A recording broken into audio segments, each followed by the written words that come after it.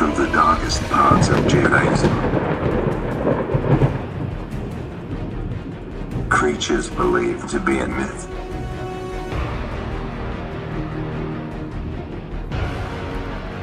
They will fight to survive.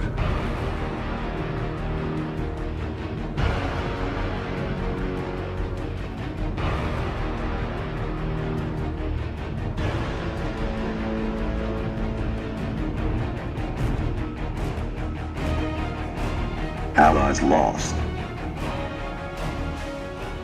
But hope remains.